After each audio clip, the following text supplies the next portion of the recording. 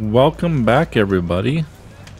Vault Hunter here. Let's play some more Horizon Forbidden West. I hope you're doing well. I'm doing great and ready to get back to it. So last episode, uh, we kind of just did some side stuff to level up. Uh, this way we were not so underpowered when we tackle the next main quest. I will probably continue that today. I have just a couple uh, uh, quest to clean up in Barren Light. After that, we'll continue to the Dying Lands quest line. I just want to make sure, uh, I want to make sure I show you guys as much as I can in this walkthrough. Um, so I kind of feel the side quests are important, and they have actually been pretty decent uh, stories too. So we got some work to do, so let's get to it.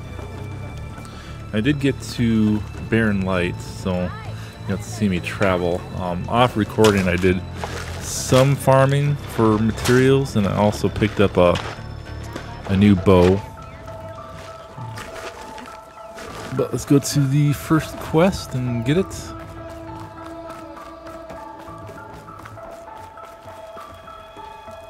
it that dude up there? See here.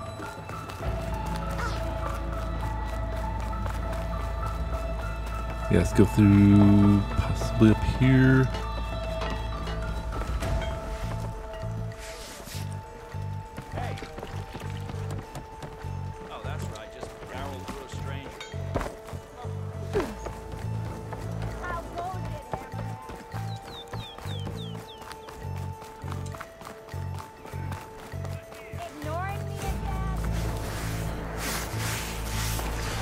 We'll try this way. He has to be here somewhere.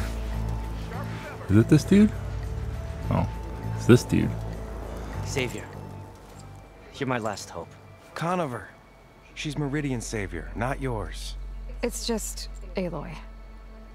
What do you want? Please, no one will listen. But the Eclipse... They're here in the Daunt. Really, Conover? Aloy's the one that defeated them. You're bothering her with this hogwash now? Some of them must have fled west after the battle at the Elite. I saw one of our sentries, Loravik, sneaking off to meet with one.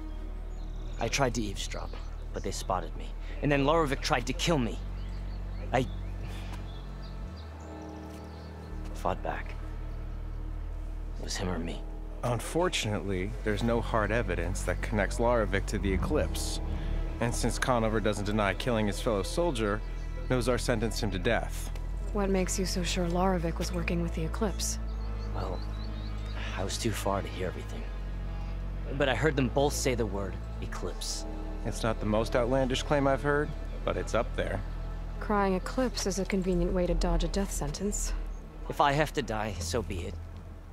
But if we ignore this threat, others are going to die too. Okay, little one. Start Tell from the me beginning. exactly what happened. Weeks ago, Call him little one because he during looks freaking young. Some trespassers slipped through the gate. By the time anyone noticed, they were halfway out the canyon. Nozar didn't see the need to give chase. Let the Tenakth take care of them, he said. Nozar wasn't one to be sidetracked, sun rest his soul. He tightened up the patrol schedules, reprimanded the sentries, and everyone moved on. But I couldn't stop thinking about it. None of us are careless out here, meaning someone left it open on purpose. And Laravik, well, he's always grumbling about officers. But on this, he was too quiet.